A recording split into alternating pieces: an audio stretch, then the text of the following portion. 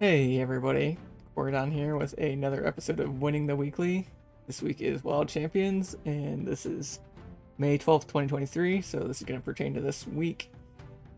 And this week we have a Heiner, Ottis, Grukli, Nezglekt team, and the modifiers are going to be based around Fury, because this contained Fury, where Fury increases damage by 2% instead of the normal 3%, and no, but no longer applies bleed at the end of the turn.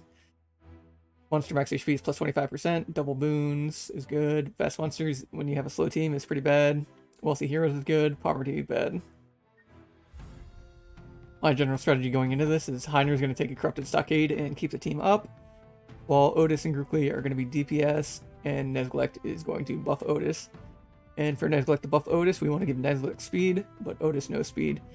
And the interesting thing about this week is there's going to be beer mugs out the wazoo, so Grukli is going to probably have a big chance to get a corrupted uh, beer mug for him to use, and then Ottis himself will get a Justicar's ring at the end of the first boss, which you will want to pick up. So keep that in mind when drafting perks. Let me go ahead and get the uh, capstone cards all set up for you and what the draft looks like. So with Heiner, you want to take the Guardian perk or Guardian pack without rerolling for the Corrupted Stockade, the Commander pack without rerolling for the Bluff, Piercing Hell, and Battle Shout, and then the Warlord pack after reroll for the Barbed Wire, Thousand Needles, and Invigorating Blow. Next up is going to be Ottis. Ottis, uh, you can have a few different choices here, but I usually choose Justicar as a definitely for the Divine Insight, and then Crusader as the other guaranteed pack. And then it's your choice between Devotee and Friar or the uh, buffs or fanaticism so you can uh, play your bigger cards more often and get better combos out of it. Grukli, I have him going under Gladiator for the Furious Slash since he's going to be picking up a lot of Fury from the beer mugs that I pick up for him. Marauder for the skills, and Destroyer for that uh, yellow Wrecking Ball because uh, Wrecking Ball is pretty nice for clearing out AoE stuff. You can also go a bleed build this week on him, so I picked up Axeman and that random if you want to go for a bleed build that synergizes with uh, sight and that exploit openings.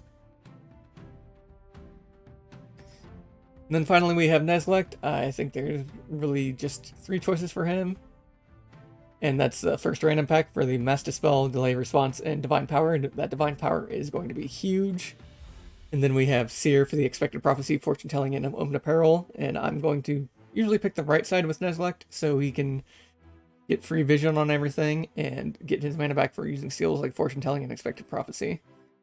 And then I pick up Mentalist for the Pandemonium and Clairvoyance.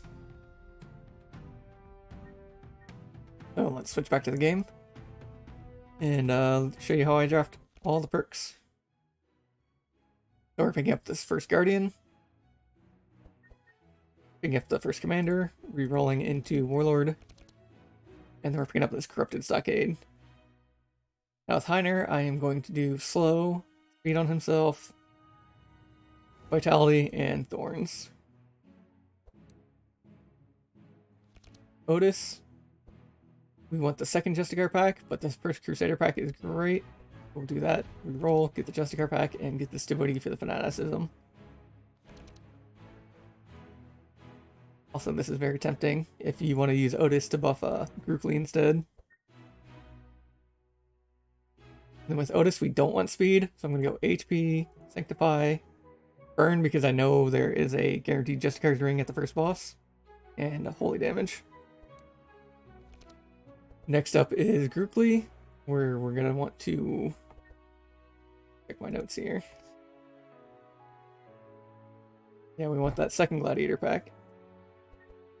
So we're gonna reroll, get that second Gladiator, get the Marauder for the Piercing Hell and Intimidate, and then we're gonna get Destroyer for this Wrecking Ball.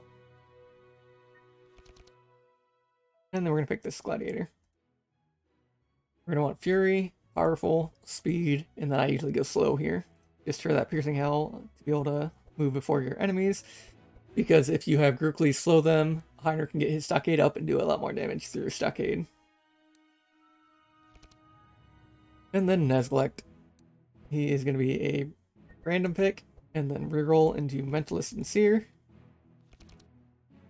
And then we're going to pick this Pandemonium. And we're going to pick Speed, Sight, Insanity.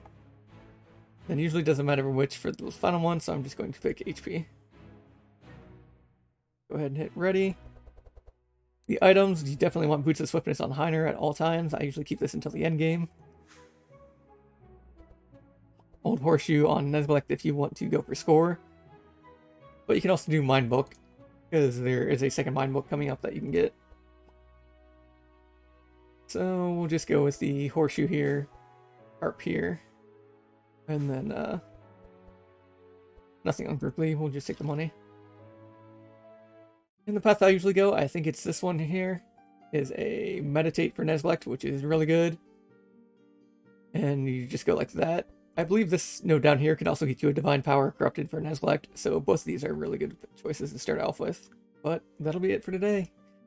Thank you for watching, and brush your teeth, take care of yourselves, have all that good jazz. And see you next week for the next episode of Winning the Weekly. Bye.